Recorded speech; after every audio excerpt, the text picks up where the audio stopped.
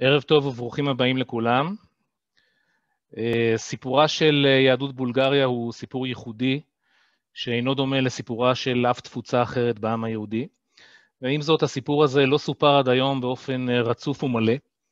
הגיע הזמן להטיל זרקור על המורשת היהודית הבולגרית ולספר את הסיפור על כל גווניו. במסגרת אה, בית מורשת יהדות בולגריה ביפו, בשיתוף עם עלמה, בית לתרבות עברית, התחלנו בסדרה בת שישה מפגשים שמאירים זוויות שונות בקורותיה של יהדות בולגריה. עורכת הסדרה היא חווה פנחס כהן. שמי מוטי קנרי, והתחלנו את הסדרה בחמישה במאי בהרצאה שהעברתי ותיארה כיצד התגבשה הקהילה היהודית בבולגריה במהלך ההיסטוריה, ומהם המאפיינים של התרבות ומנהיגותה הדתית. ואנחה את הערב הזה, שיעסוק ביהדות בולגריה בתקופת השואה. אודות אה, תקופת השואה בבולגריה מתנהלת מחלוקת כבדה, אמוציונלית ומפלגת בקרב יהודי בולגריה, והיום ננסה להאיר זוויות שונות של האירועים. המרצה המרכזי שלנו הוא דוקטור אנגל צ'ורבצ'ייב. אנגל צ'ורבצ'ייב עלה לישראל מסופיה ב-1998, בוגר תואר שני מאוניברסיטת סופיה ותואר שלישי מאוניברסיטת חיפה, חוקר אספקטים שונים מההיסטוריה של יהדות בולגריה, בעיקר בין שתי מלחמות העולם, אך גם בתקופת השואה. בשנים האחרונות עובד בארכיון יד ושם. הרצאתו של אנגל תתאר באובייקטיביות את מהלך האירועים השונים. לאחר הרצאתו של אנגל התייחסו שני היסטוריונים בקצרה לדעות השונות אודות האירועים. הראשון, דוקטור שלמה שאלתיאל, היסטוריון שעוסק עשרות שנים בחקר יהדות בולגריה ומהווה אבן ראשה במחקר אודותיה, כתב מאמרים וספרים שהאחרון בהם, תום נעורים ולהט עשייה אודות פעילות תנועת השומר הצעיר בבולגריה, יצא לאור לאחרונה. לאחריו התייחס בקצרה דוקטור משה מוסק, דוקטור משה מוסק, יליד ימבול, אשר אתמול הגיע לגבורות, וזו הזדמנות נאותה לאחל לו מזל טוב. משה היה מנהל גנזך המדינה, הוא היסטוריון, סופר וארכיונאי, שבימים אלו עובד על ספר העוסק בשואת יהודי מקדוניה. לאחר ההתייחסויות הקצרות נענה על תשובות לשאלות הקהל בצורה מסודרת ככל שנוכל, ניתן לרשום שאלות גם בצ'אט. במידה ולא נספיק לענות על כל השאלות, אנחנו נאסוף שאלות ונענה עליהן בהמשך, וכמובן ההרצאה המצולמת תועלה לדף הפייסבוק היידה של בית מורשת בפייסבוק. עכשיו חברות וחברים, אני מזמין את דוקטור אנגל צ'ורבצ'ייב להרצאה. אנגל, בבקשה. הנה, אני אשחרר את המיקרופון, תודה רבה מוטי. אה, וכמו שמוטי אמר, אני אנסה להציג אה, באובייקטיביות, למרות שמאוד אה, קשה, מוטי אמר מאוד נכון שהנושא הזה אולי הוא הכי שומעים במחלוקת לא רק בין יהודי בולגריה, אבל בכלל בין כל האנשים שעוסקים בנושא מכל העולם. ומכיוון שיש לי די מעט אה, זמן, אה, ההרצאה היא תהיה מאוד אה, קצרה, הרצאת מבוא, שתיתן את הקווים הכלליים, את העובדות היסוד שאנחנו עובדים איתם כשאנחנו מדברים על תקופת המלחמה בבולגריה. לא ניכנס לדיונים ולמחלוקות גם בגלל ש... אין לנו זמן, אתם אה, צריכים אה, להבין שהנושא הזה הוא יכול להיות אה, נושא של קורס שלם ולא רק של ההצעה של ה-40-45 דקות, כך שמי שמצפה לשמוע בסוף ההרצאה מי הציל את יהודי בולגריה אז הוא לא יקבל את התשובה, אולי אחר כך יהיה לנו זמן עם משה ושלום לדון בגישות השונות ועמדות השונות בין החוקרים ולא רק בציבור בכלל, אבל קודם כל אני אתן את היסוד, באמת, את העובדות נטו, לראות מה קרה עם יהדות בולגריה ועם יהודי טרקיה ומקדוניה שבזמן המלחמה היו חלק מהמדינה הבולגרית המורחבת בזמן המלחמה, בתקופת השואה, ואז נעסוק כמובן בשאלות בסוף.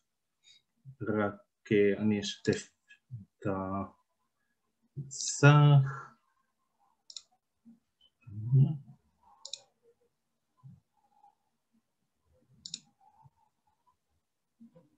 ושזה... מוטי רואים? רואים. יופי. אז ככה, בולגריה, כפי שמכירים אותה בגבולות של היום, אני מצטער, זה הייתה איזה תמונה של מפה, לא מי יודע מה, אבל בגלל שיש עליה ציון של רוב הקהילות שהיו בבולגריה, אז אני משתמש בה כדי שתקבלו ככה מושג איפה היו קהילות ברחבי בולגריה, הרבה מכם בטח יודעים, שומעים מהיסטוריה משפחתית או מזה ששמעו והתעניינו בהיסטוריה של יהדות בולגריה, וכמו שאנחנו יודעים, כמעט חצי מיהדות בולגריה הייתה רוקדת בסופיה, בעיר הבירה. וכדי לדעת מה, מה קרה ממש בתקופת השואה ואיך זה השפיע על יהדות בולגריה, אנחנו נתחיל.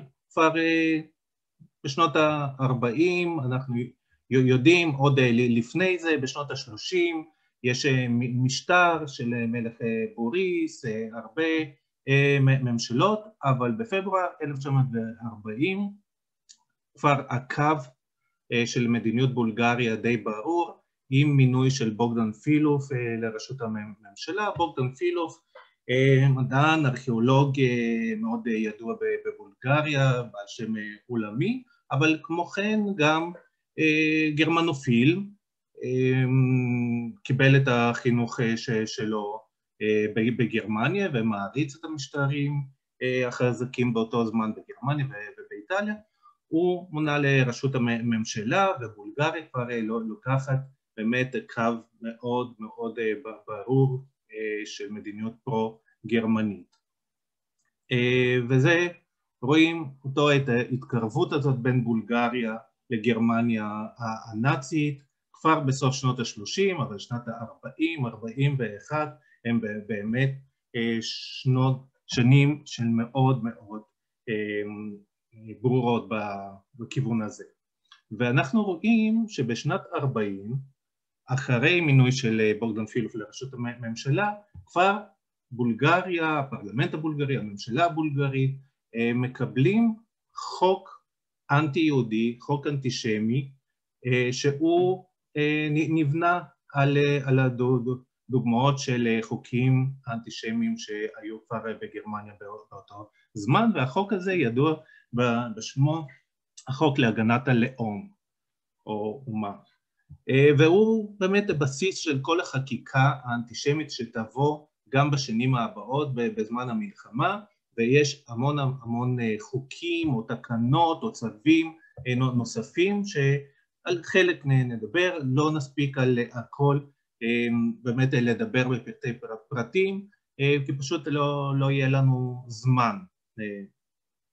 עכשיו החוק הזה הוא אושר על ידי הממשלה כבר בקיץ של 1940, אחרי דיונים בפרלמנט הוא אושר בסוף השנה, קצת לפני, בסוף סוף השנה ובתחילת ינואר 41 הוא אושר, נחתם גם על ידי מלך בוריס השלישי ופורסם בעיתון הרשמי של הממשלה ומקבל תוקף. למה זה חשוב שזה ב-1940? בגלל שבולגריה מצטרפת רשמית לברית עם גרמניה ואיטליה ויפן רק במרץ 1941. כלומר, החוק הזה הוא, אה, הוא נכתב והתקבל כבר לפני שבולגריה בכלל מצטרפת לברית, רשמית לברית עם גרמניה.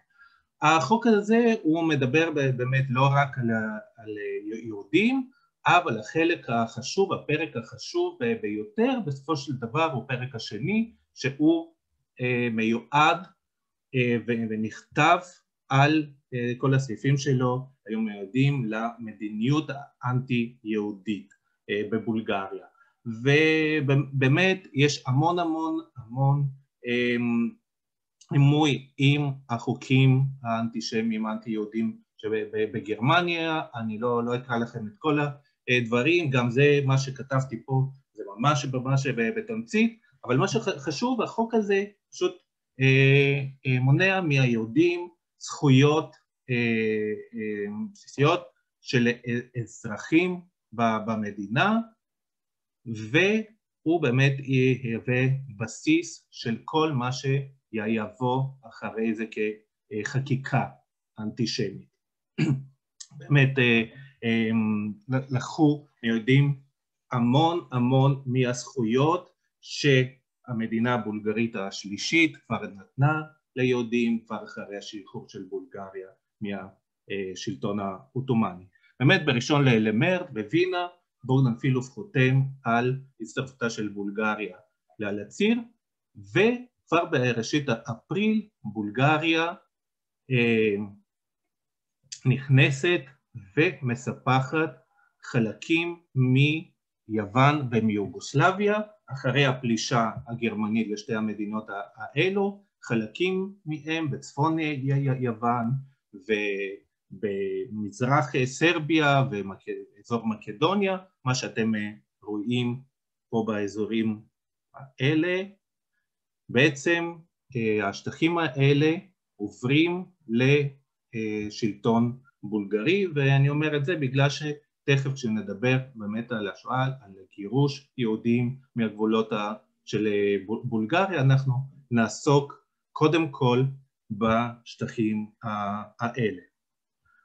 עכשיו, החקיקה האנטישמית היא, כמו שאמרתי, היא לא נגמרת עם, אמ, עם החוק להגנת הלאום. אתם רואים שב-1941, 1942 יש לא מעט אה, חקיקה שמופנית אה, כנגד היהודים במדינה בבולגריה עצמה, וזה תקף כמובן מיד אה, התוקף של כל החוקים האלו היה גם על יהודי טרקיה ומקדוניה, כל השטחים אה, שסופחו לבולגריה או ששוחררו לפי הטרמינולוגיה הרשמית אה, של ממשל בולגריה, בולגריה בכלל. אז אחד מהדברים המאוד מאוד חשובים היא בעצם הניצול הכלכלי של יהדות אה, בולגריה אה, שהתחיל על ההתחלה ואתם רואים כבר בקיץ של 1941 יש חקיקה אה, שנוגעת בכלכלה, בפיננסים של ילדי בולגריה, הם נדרשים לשלם סכומים מאוד גדולים מה שבהמשך כמובן ישפיע מאוד לרעה למצב הכלכלי של כל הקהילה.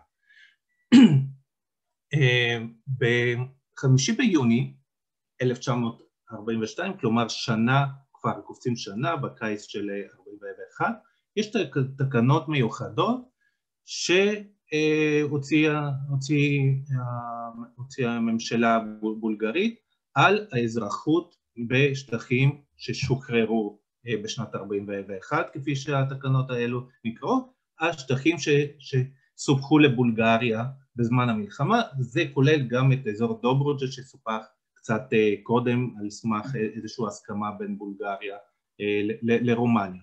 למה זה חשוב ואני מזכיר את זה?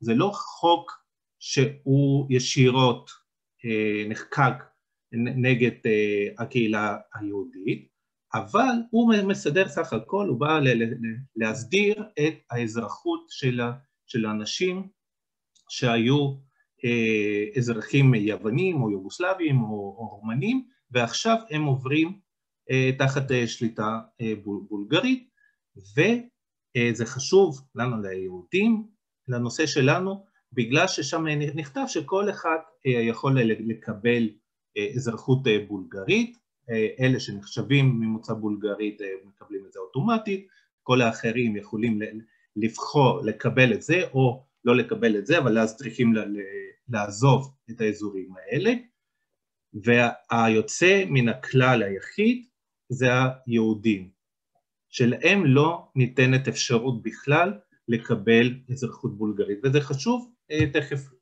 נראה כשאנחנו נדבר על האזורים האלה. 1942 זאת שנה גם שאנחנו רואים ממש עליית מדרגה בחקיקה האנטישמית, במדיניות האנטישמית בכלל של הממשלה, ובקיץ של 42 הפרלמנט הבולגרי אה, אה, מאשר חוק מיוחד שמאפשר לממשלה לקחת כל החלטה שהיא חושבת אה, שצריך בענייני היהודים. מה זה אומר? שבעצם מפה והלאה הממשלה יכולה לקחת החלטות בנושא היהודי בלי לקבל, בלי לדון על זה בפרלמנט ובלי לקבל אישור או בכלל לעבור את האישור של הפרלמנט. כתוצאה מכך יש הרבה הרבה הגבלות חדשות שנכנסות אה, לתוקף אחרי קיץ 1942, כמו למשל המגן דוד הצהוב שהיהודים אה, נדרשים כבר אה, לענוד, כל מיני שלטים וסימנים, נגיד פה מה שאתם רואים זה קופסה של קרם קוזמטי שעליו אתם רואים פה את המדבקה עם מגן דוד שכתוב אברייסקו פריזבוספו, ייצור יהודי, צריך כל ייצור של מפעל יהודי, של עסק יהודי צריך להיות מסומן, כמובן הבתים והעסקים קיבלו שלטים מיוחדים וגם הרבה מקומות קיבלו שלטים שהכניסה ליהודים נאסרת. אחד מהדברים החשובים שבאים כתוצאה מעליית מדרגה הזאת במדיניות האנטישמית זה הקמה של מוסד מיוחד שנקרא הקומיסריאט לענייני יהודים שלוקח לידיו את כל המרכז את, את כל המדיניות האנטישמית במדינה והופך בעצם לגורם הכי חזק בצורה מאוד עצמאית הוא בעצם מקבל את הכוח לטפל בשאלה היהודית והוא נמצא מעל הרבה הרבה משרדים ממשלתיים אחרים. אמ, בראשו של המוסד הזה מונה אלכסנדר בלב שאתם רואים על התמונה, אנטישמי וגרמנופיל ידוע בבולגריה שהיה פקיד במשרד הפנים. הקומיסריאט בכלל כפוף למשרד הפנים. ואלכסנדר בלף יעמוד בראשו אה, בתקופה של המלחמה או חלק אה, ממנה. ובגלל זה הוא דמות מאוד אה, חשובה. כתוצאה מכל כל זה כמובן מתחילות גם כבר השיחות לגירוש של יהודים מבולגריה וגרמניה שנחוצה, שנחוצה כמובן לגרש את אה, אה, יהודי אירופה מכל המקומות שהם חיים בהם, מתחילה אה, שיחות עם הממשל הבולגרי על גירוש כזה של יהדות בולגריה, כבר אנחנו רואים בספטמבר, אוקטובר, נובמבר, לקראת סוף, סוף, סוף השנה, יש הרבה הרבה דיונים, משא ומתן בין גרמניה לבולגריה ממש ב-high level.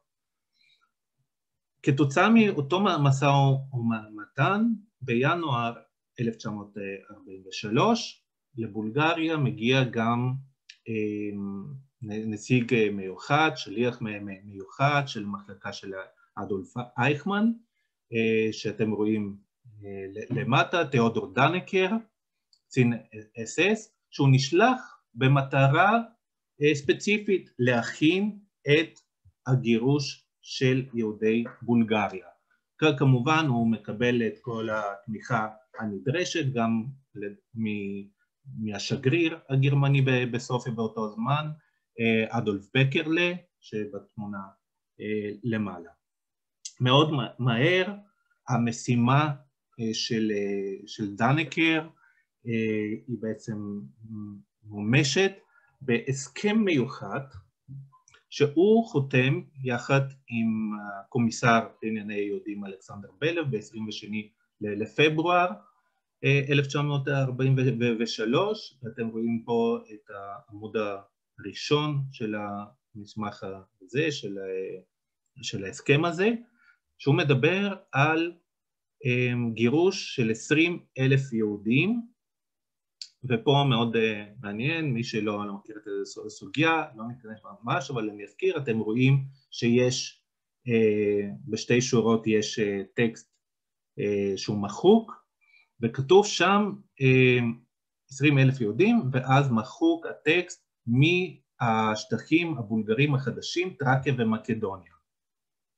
עכשיו למה הטקסט מחוק? בגלל שבטרקיה ומקדוניה, בשטחים שסופחו לבולגריה ב-41, פשוט לא היו עשרים אלף יהודים. וכדי להוסיף צריך למחוק, אחרת הטקסט מגביל בעצם את הביצוע רק לטרקיה ומקדוניה, ולעומת זאת דנקר ובלף היו רוצים שלא יגורשו רק יהודי טרקיה ומקדוניה, אלא שיגורשו עשרים אלף יהודים, וככה בעצם עם המחיקה של הטקסט הזה אפשר כבר להכניס גם עוד שמונת אלפים בערך יהודים מבולגריה עצמה, בגלל שלפי הנתונים הסטטיסטיים בטרקיה ומקדוניה היו בערך 12 אלף, 11 ומשהו, 12 אלף יהודים, וצריך למלא את המכסה עד ל-20 אלף. עכשיו, מה קורה באותם המקומות? בלף מכין תוכנית מאוד מפורטת שמדברת על שלושה שלבים של הגירוש.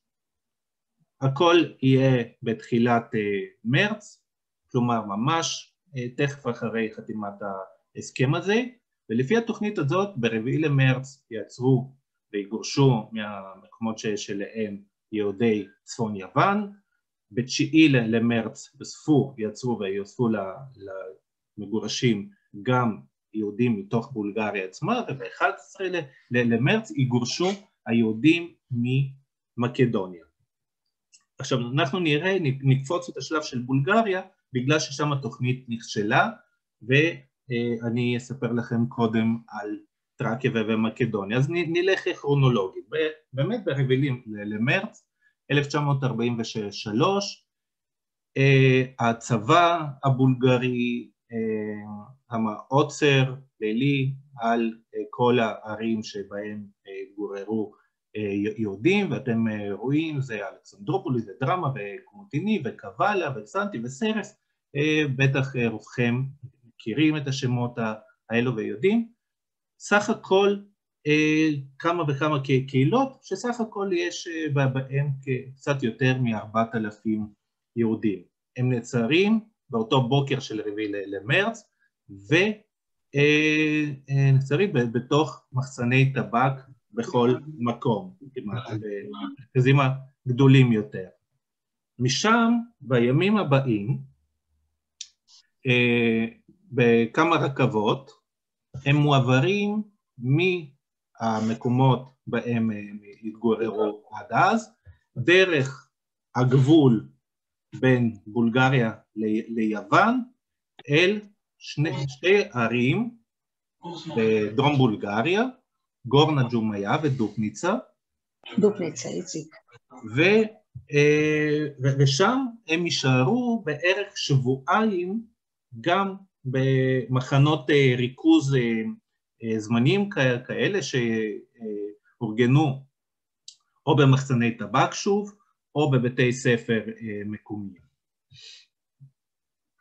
אחרי שבועיים האלה היהודים עולים שוב לשתי רכבות וממשיכים את הדרך שלהם, הדרך שלהם תכף תראו היא מאוד מאוד ארוכה בסופו של דבר, דרך כל בולגריה, הם מועברים מדרום אל צפון בולגריה על הגבול הצפוני שזה בעצם הנהר דנובה, אל נמל לום, ומשם ב-2021 במרץ ארבע אוניות נהר לוקחות, לוקחות את כל אותם היהודים מטרקיה ומזרח מקדוניה שזה צפון יוון, אתם רואים פה תמונות גם של העלייה לאוניות וגם אחת מהאוניות עצמם כדי לקבל ככה מושג על איזה אוניות מדובר, לא אוניות גדולות, ככה שהייתה די צפיפות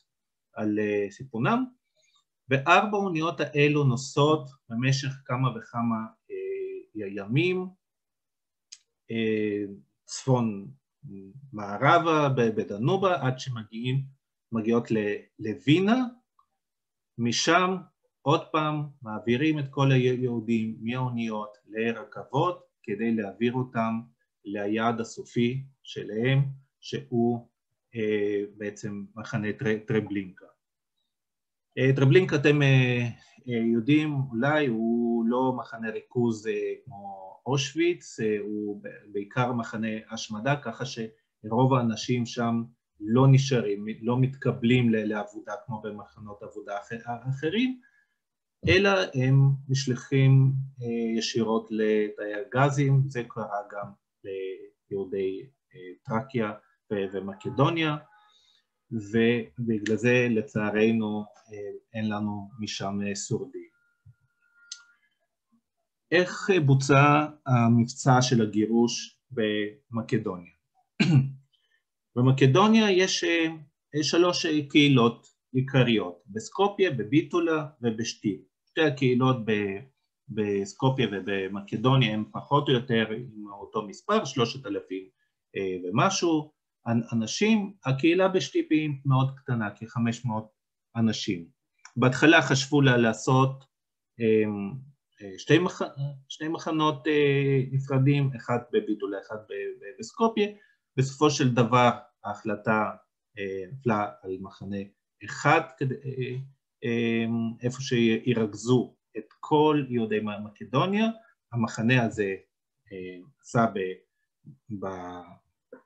במפעל מונופול, במחסנים של מפעל הטבק מונופול בסקופיה, אתם רואים פה למטה את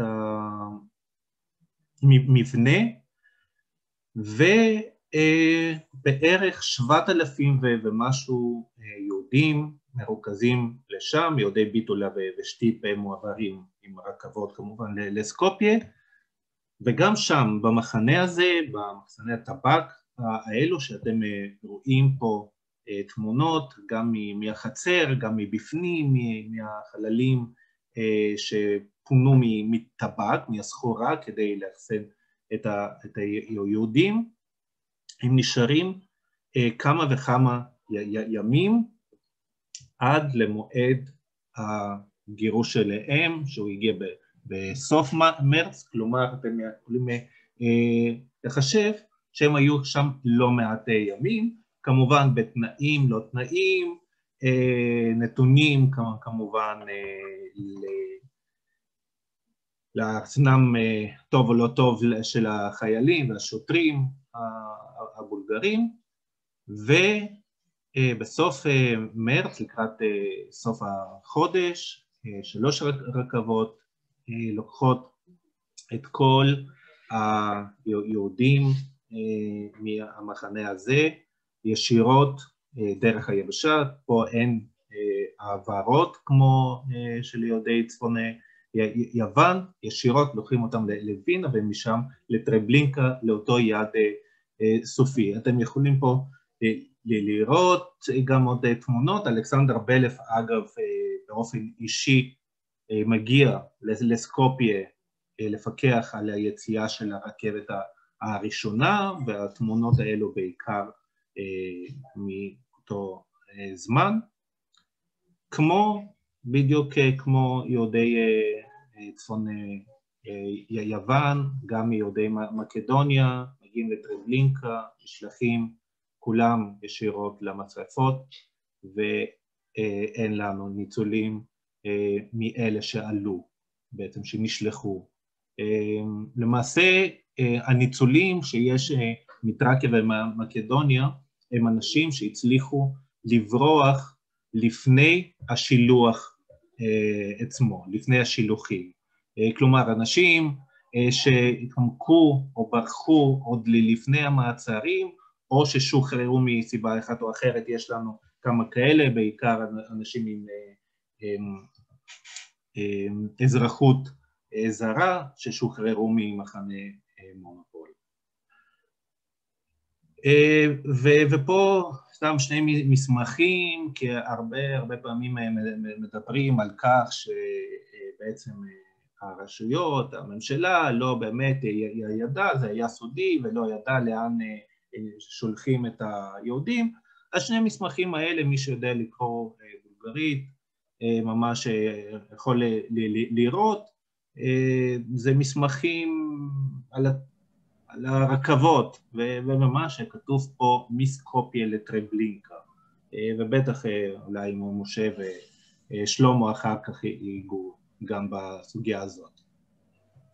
מה קורה בבולגריה? תכף נדבר על ההצלה, איך בעצם הקהילה שבתוך בולגריה ניצלה, אבל קודם כל קצת פה אני אקצר, נראה לי בגלל הזמן, אבל צריך להבין, יש סוגיה מאוד חשובה, וזאת הסוגיה של מחנות העבודה, עבודת כפייה של הגברים בבולגריה, ואני בטוח שלרבים רבים מכם יש את הסיפורים של אבא או סבא שהיו במחנות העבודה בבולגריה ויש תמונות, אני באמת אקצר פה רק ממש אגיד, יש כמה שלבים, הרי עבודה, עבודת כפייה הייתה גם ב-41, גם ב-42 וגם ב-43, ולתקופה קצרה יותר ב-44, ויש כמה שלבים, בהתחלה, כפי שאתם רואים, היהודים משרתים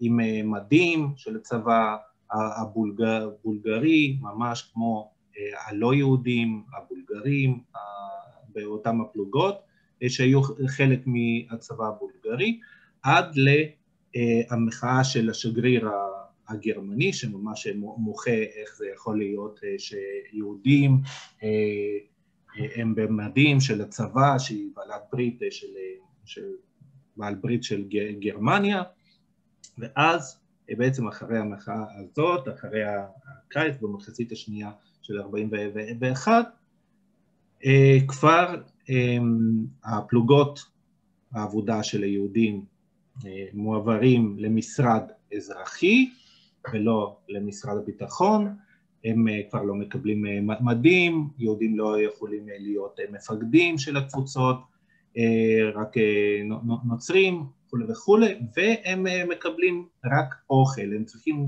לבוא עם הבגדים שלהם, משנה לשנה, 42, 43, התקופה שהם שוהים במחנות העבודה האלו מתארכת, אומנם הם משוחררים בחורף הקשה עצמו, כלומר מגייסים אותם בתחילת השנה, למשל אתם רואים ב-42 במרץ מגייסים אותם, משחררים אותם בדצמבר, וכבר נשלחים למקומות די נידחים, לכל מיני פרויקטים של בעיקר תשתיות, כבישים, סלילת כבישים, מסילות ברזל, בעיקר בפרויקטים שמדינה בולגרית רצתה לקדם לבניית התשתיות שלה במלחמה, וגם היהודים נשלחים למקומות מרוחקים ככל האפשר מקבוצות עבודה אחרות שלא,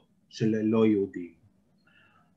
כמובן ב-43 התקופה הזאת עוד מתארכת, מגייסים אותם כבר בינואר עד דצמבר כמעט כל השנה, והתנאים למרות שבטח אתם פה לא, לא שמתי, אתם תראו בהרבה תמונות שתראו מהמחנות האלו, אתם תראו הרבה חיוכים, הרבה חברה כאילו בתמונות, אבל אלו היו מקומות של עבודה קשה, ואנחנו רואים את זה בעדויות של האנשים אחרי המלחמה.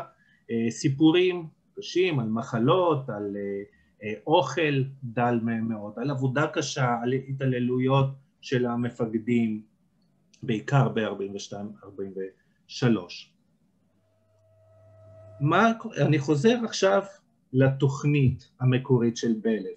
מ-43, מתחילת 43, שאומרת בתשיעי בין שתי, שני הגירושים של אה, יהודי טרקיה ומקדוניה, צריך לקחת כשמונת אלפים יהודים מתוך בולגריה כדי להוסיף לאלה ולהגיע למספר הדרוש של עשרים אלף.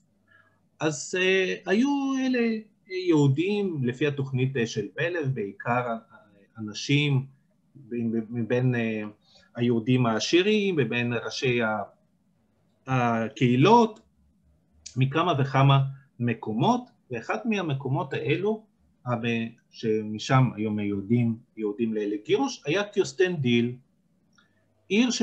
עיר קטנה שחנת בגבול בין בולגריה ויוגוסלביה,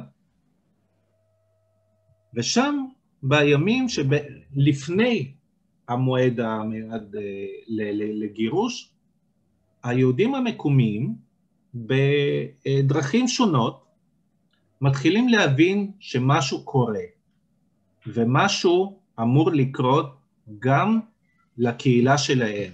הם מבינים את זה אה, מכך שפתאום אה, בתחנת הרכבת יש אה, המון קרונות,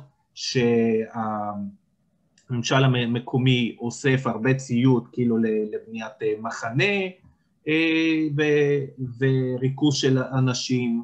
הם מבינים את זה מחברים שלהם שהיו בעלי תפקידים, הם מבינים את זה קצת עם אה, שוחד, קצת מאנשים שאהבו לי לשתות ודיברו קצת יותר מדי, והם, מה שהם עושים, הם פשוט לא נשארים אה, אדישים ומפוחדים, הם, הם מחליטים לקחת את העניינים לידיים שלהם, לעשות מעשה, ובאמת הם אוספים כסף, הם אה, אה, נותנים כסף אפילו למי שהם חשבו שיכול לעזור, והם גם מקבלים עזרה מחברים שלהם מבין האוכלוסייה הבולגרית, אנשים בעלי שם, בעלי תפקידים, בעלי עמדה בציבור ובחברה הבולגרית,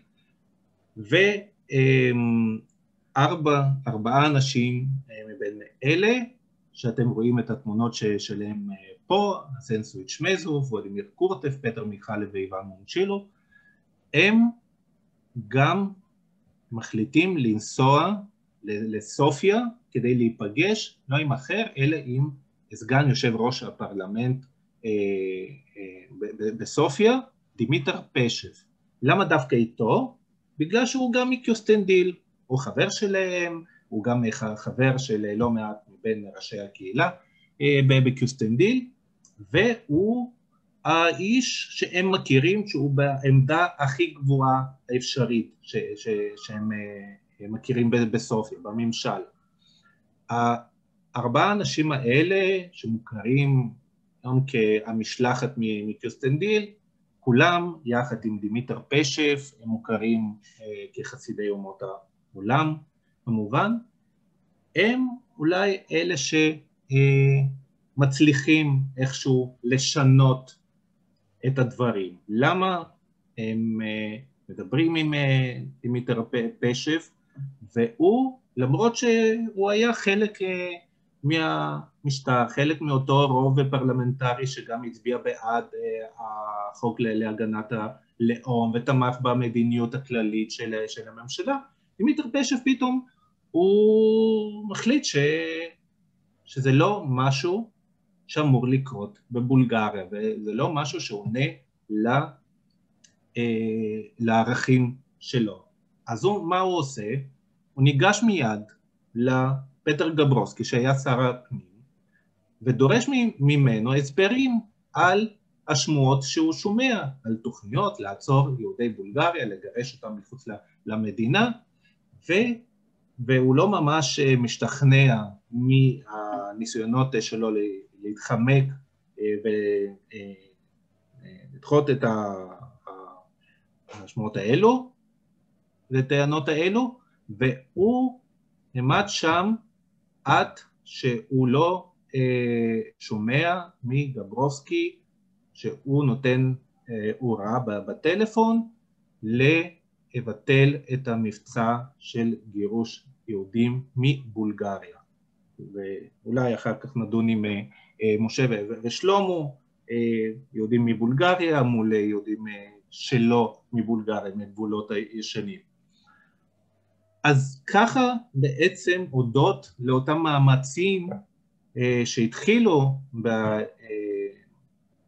בקהילה היהודית של קיוסטנדיל וראשיה ובתמיכה של אנשים בולגרים, אנשי ציבור בולגרים, בעצם המבצע שהיה מיועד לתשיעי במרץ, בינתיים בוטל, לא לגמרי, לדעתו של, של אלכסנדר בלב כמובן, זה רק נדחה, אבל בסופו של דבר זה יהיה ביטול עד סוף המלחמה.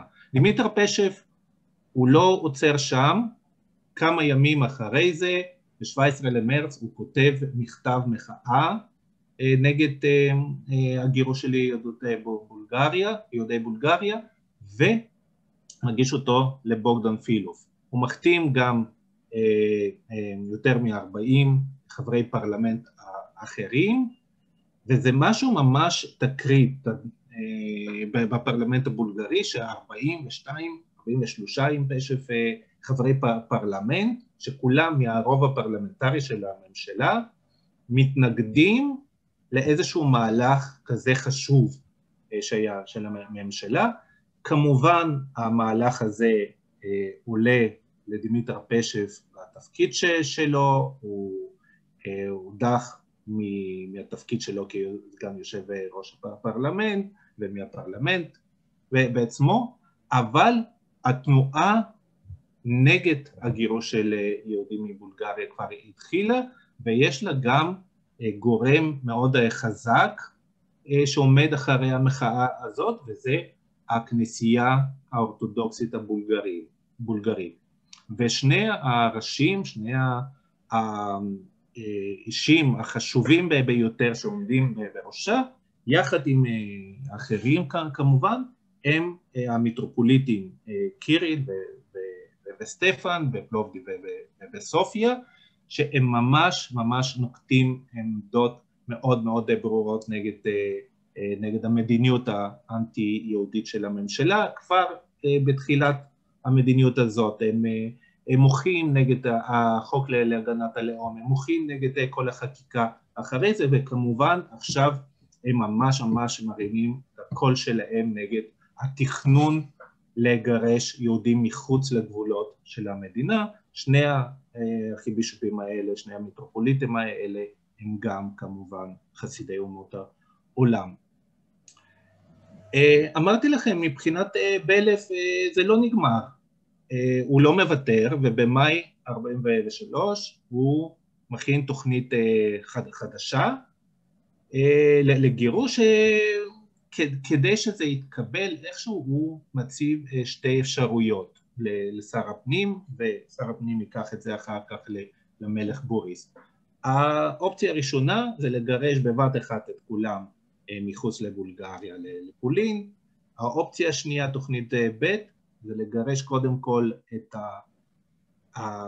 המסה הגדולה של יהודים, כלומר יהודי סופיה, יהודי הבירה, לפזר אותם לערי השדה בבולגריה, ו, ואז בכוונה כמובן להפחית את הכוח של הקהילה החשובה הזאת, שיכולה להשפיע כמו במרץ על אנשי ציבור בתוך המשטר, ולסכל את התוכנית, ואז כשלב שני כבר לגרש את כולם מחוץ למדינה.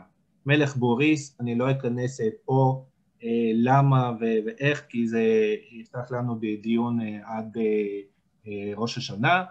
אמ, המלך מקבל את התוכנית השנייה, היותר מתונה, של שלבים, קודם כל לגירוש של יהודי סופיה, ואז נראה.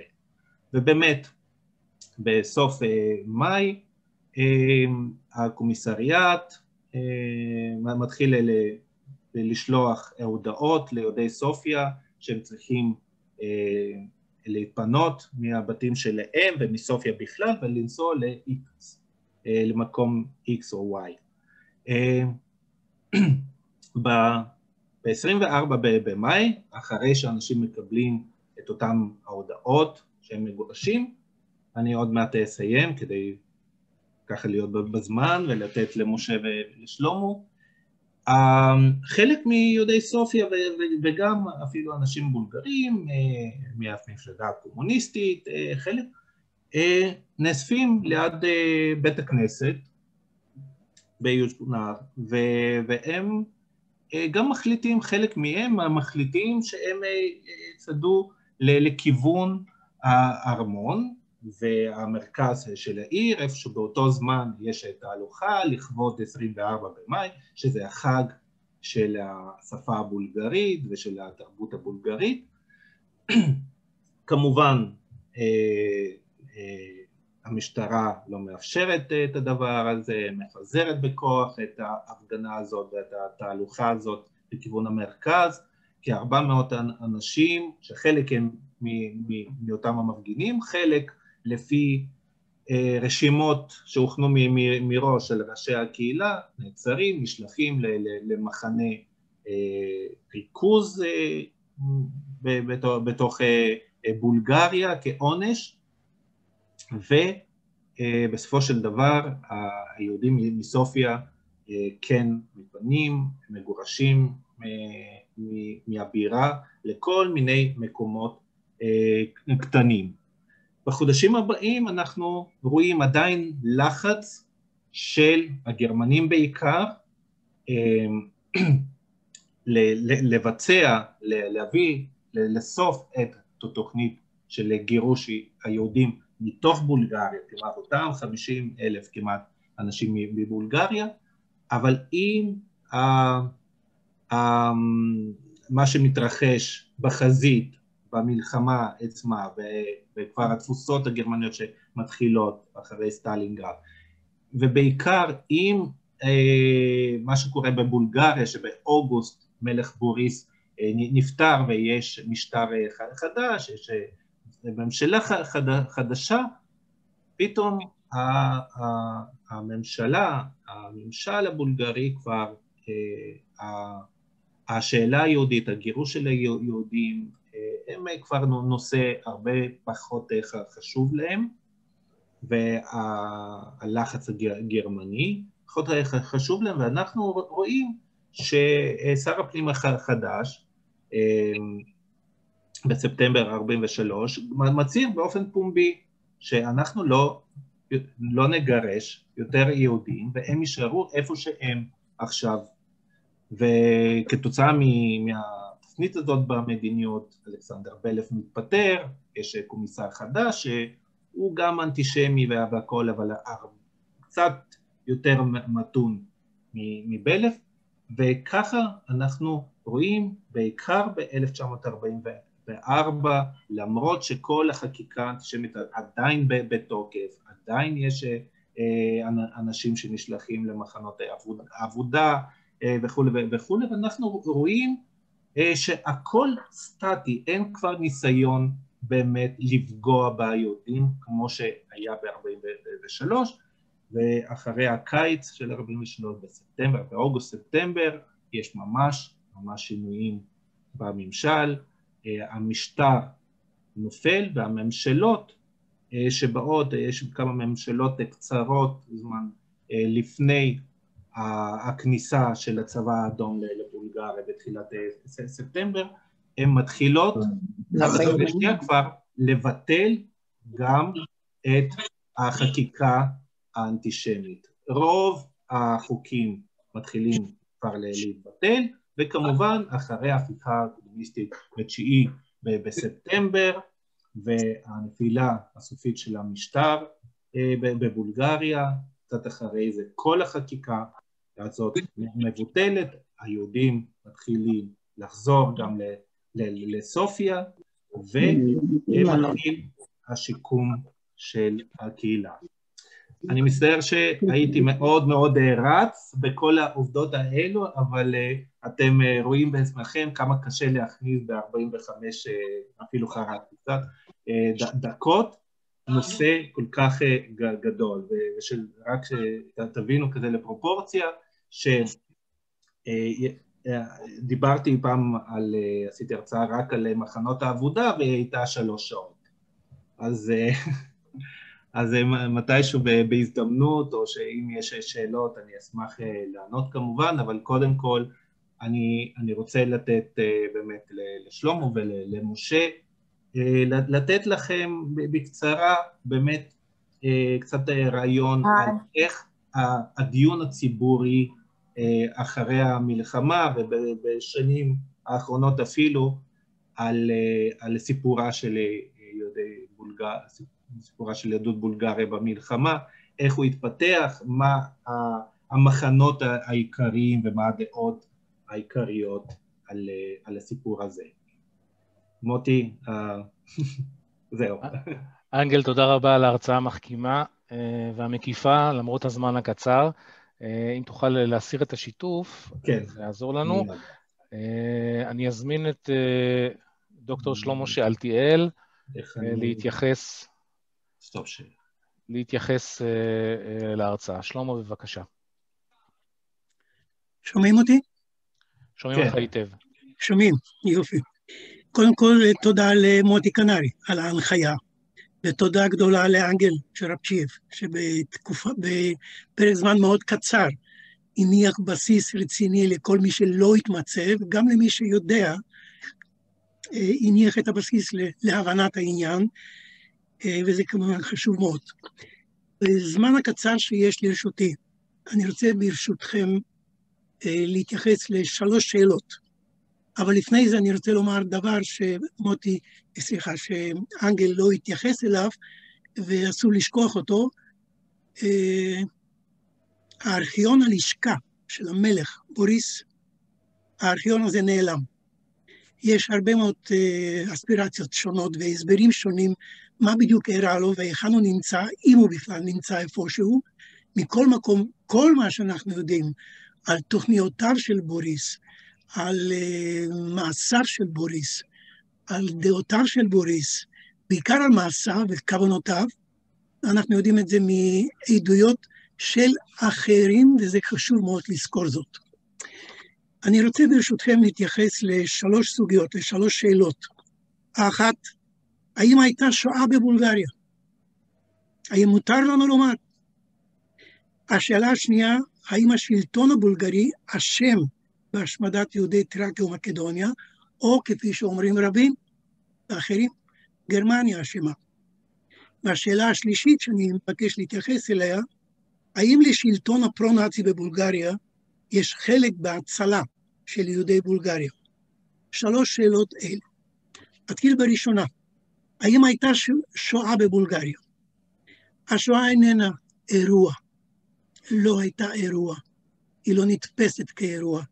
השואה היא תהליך, השואה הייתה תהליך, תהליך שהחל בדרך כלל באפליה ונגמר בהשמדה. כל מה שבתווך בין הקצוות, שני הקצוות האלה הוא חלק מן השואה. ובבולגריה זה החל עם אפליה. אנגל כבר רמז שזה כבר בשנות ה-30 המוקדמות, אחר כך אנטישמיות יזומה על ידי הממשלה, תהליך של דה-לגיטימציה של היהודים בעיני הסביבה הבולגרית, שלילת חופש וזכויות אזרח בסיסיות, דחיקה אנטי-יהודית, מיסוי כבד, שוד רכוש פרטי וקהילתי, פיטורים ומניעת עבודה, עוצר, השתלטות על חברות ומפעלים, גיוס גברים לעבודה בכפייה, עידוד ארגונים אנטישמיים והפיכתם לממסדיים, גירושים מעיר לעיר בגלל עוונות קטנים ופשעים של מה בכך, גטואיזציה, כלומר ציפוף אוכלוסייה יהודית לתוך אזורים מסוימים. בולגריה לא ידעה גטו עם חומות, אבל השכונות היהודיות היו ידועות. סירוב לקבל יהודים בולגרים חזרה למדינה והפקרתם לשילוחם לאושוויץ, בידינו רשימות של יהודים עם אזרחות בולגרית כשרה ותקפה, שנמצאו לעוונם בפריס, בקאנט ובמרסיי, בבוהמיה ובמורביה, ושגרירי בולגריה בברלין ובפריס, פעם אחר פעם, בשנת, בסוף 41, בשנת 42, מבקשים ממשרד החוץ, תנו להם אפשרות לחזור למולדתם ולמשפחותיהם. לנו, היום, יש הרשימות המדויקות של אותם יהודים.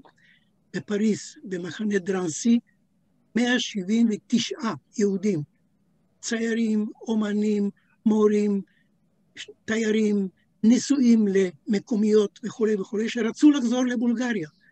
השגרירים אומרים, חלקם יש להם תעודות על השתתפות במלחמה, מדליות וכולי.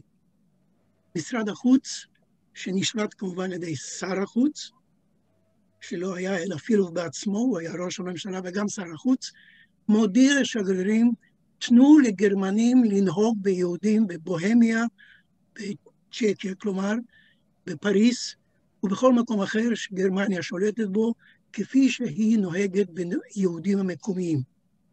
יש לנו רשימה מדויקת של 179 יהודים מטרנסי, מטרנזי, טרנסי, בפריס עד אושוויץ, הכל הושמדו.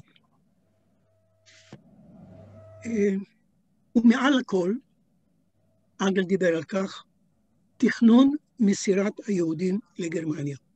התכנון נעשה בצורה מדוקדקת ביותר. באלף נשלח להשתלמות בתקופת ימי ואנזה, ועידת ואנזה, לקבל הדרכה וללמוד את המקצוע. והוא חזר לבולגריה מלומד.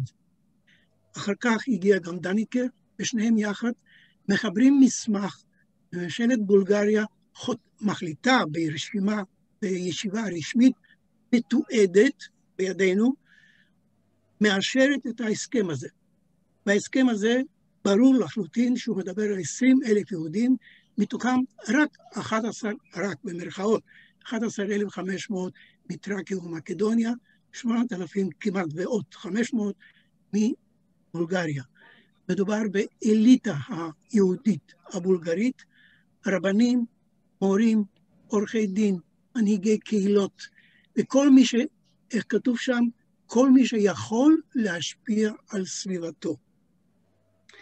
אם כן, התשובה לשאלה הראשונה, האם הייתה שואה בבולגריה, הייתה שואה בבולגריה. השאלה השנייה שאני מבקש לדון בה, היא האם השלטון הבולגרי אשם בהשמדת יהודי טרקיה ומקדוניה. כבר אמרנו שבסופו של דבר הם נכללו בהסכם כתוב על שילוחם לטרבלינקה ואנגל הראה את המסמך. אבל זה התחיל עוד לפני זה. זה התחיל למעשה כמה חודשים לאחר שבולגריה קיבלה לידיה חלקים ממקדוניה וחלק מטרקיה. בולגריה ממנה, הממשלה, ממנה ועדה של פרופסורים בעיקר גיאוגרפים ואחרים, אתנוגרפים, גיאוגרפים, ואלה מוציאים תוך שבוע-שבועיים מסמך כיצד על בולגריה לנהוג על מנת לבצע בולגריזציה, זהו הביטוי, בולגריזציה של השטחים האלה. אחת, מה, אחת מן הדרכים האלה הייתה, כפי שכבר ציינתי, להביא לשטחים האלה אה, מנהלים בולגרים בכל הרמות. אבל דרך נוספת הייתה, כפי שאנגל ציין זאת נכון, וזה מאוד חשוב, כל אחד מאזרחי אותם שטחים רשאי היה, אם הוא רצה בכך, לקבל אזרחות בול... בולגרית. איננו יודע כמה מהם ביקשו, אני מניח שהרוב הגדול, כי אחרת מי שהיו לו רק דרחמות בטרקיה, או רק דינרים יוגוסלבים במקדוניה, לא יכול היה לגשת לבנק ולקבל לבות על מנת להמשיך את החיים. אז אני מניח שכל מי שלא היה יהודי נהנה במרכאות מן האפשרות להיות אזרח בולגרי. ליהודים האפשרות הזאת נאסרה בצורה מפורשת, והם נמצאו למעשה תלויים בחסדי מי יודע מי. Uh, התחילו למכור רכוש, אנחנו יודעים את התיעוד על מנת שיוכלו להתפרנס. הוציאו כסף, מכרו טבעות נישואין וכולי, כדי שיוכלו להתקיים. וכך עד לגירוש. לבולגריה הייתה שליטה מלאה בשטחים האלה, התכנון והביצוע היה בולגרי. הקומיסריון, המשטרה, הצבא והאדמיניסטרציה הבולגרית בתוך מקדוניה ובתוך טרקיה ביצעה זאת על ידי חוליות שנבחרו למטרה של שלושה, ארבעה פקידים, יחד עם חיילים או שוטרים, או גם וגם, הם הוציאו את היהודים בתוך שעה, שעתיים, ריכזו אותם במקומות המסוימים. בוריס המלך, בוריס השלישי, אישר בפני שר החוץ הגרמני ריבנטרופ, באחת מפגישות, נדמה לי שבפגישה לפני האחרונה ביניהם, על פי מילותיו שלו, עד עתה אישרתי רק, במרכאות, את מסירת יהודי טרקיה ומקדוניה. אז לגבי השאלה הזאת, אין יותר ויכוח, וכל הטוען אחרת שרק גרמניה אשמה, הוא פשוט מכחיש שואה, יהודי או בולגרי או כל אדם אחר. זה לגבי השאלה השנייה. אני עובר לשאלה השלישית. כלומר, אה, אני חוזר לסכם את לגבי השאלה השנייה. האשמה של בולגריה לגבי טרקיה, יהודי טרקיה ומקדוניה היא טוטאלית, היא מוכחת, היא ברורה לחלוטין. השאלה השלישית הייתה, האם לשלטון הפרו-נאצי בבולגריה יש חלק גם בהצלת יהודי בולגריה? אז כבר אמרתי, ואני חוזר עכשיו, מדגיש זאת, אנחנו לא יכולים לדבר על הצלת יהודי בולגריה, כי אם רק על הצלת יהודי בולגריה שהיו על אדמת בולגריה. כי כמה מאות יהודים בולגרים, כשרים, בעלי אזרחות בולגרית, לאסונם, לא היו על אדמת בולגריה. אז להבא, אני משתמש בהגדרה הזאת. ניצלו כל יהודי בולגריה שהיו על אדמת בולגריה. אם כן, האם לשלטון הפרו-נאצי בבולגריה יש חלק ונחלה בהצלה? ובכן, ממשלת בולגריה, באישור המלך, כי הוא אישר את החלטת הממשלה, הוליכה את כל התהליך ותכננה את הגירוש מההתחלה ועד הסוף. כלומר, זה התחיל עם הדחיקה, זה התחיל עם, לפני זה עם האפליה וכל השאר, אבל זה הגיע עד להסכם. עכשיו, הגירוש נפסק ברגע האחרון לא ביוזמת הממשלה, לא ביוזמתו של גברובסקי, לא ביוזמתו של פילוף, אם זה הגיע אליו, כנראה שהגיע, פילוף ראש הממשלה, וגם לא ביוזמתו של בוריס, אם בכלל הגיעו אליו, כי הוא היה בטיול יזום על ידו בפירים, בהר פירים. כתוצאה מן הלא ביטול הפקודה, כי יש בידינו תשדורות המורס שנשלחו על ידי מזכיר משרד הפנים, מזכיר אישי של, אה, של גברובסקי, בתשדורות המורס נאמר, לא דובר על ביטול, דובר על עד להוראה חדשה. נא לעצור, בבולגרית, נא לעצור את עצירת היהודים עד להוראה חדשה. כלומר, יש לנו השהיה. בכל אופן, זה נעצר. התגובה של בלף הייתה, על פי כל העדויות של המקורבים לו במשפט, במשפט שהיה ב-1945, הוא התפטר על המקום, הוא היה כולו בזעם זוועה, השתולל. אבל הוא שוכנע מהר מאוד, ואמרו לו, תמשיך לתכנן. ואנגל כבר סיפר שאכן, שבועיים לאחר מכן כבר הייתה תוכנית, שתי תוכניות, תוכנית A ותוכנית ב', א' וב', והמלך בחר במה שבחר, בחר בתוכנית השנייה. והתוכנית השנייה אכן בוצעה במאי.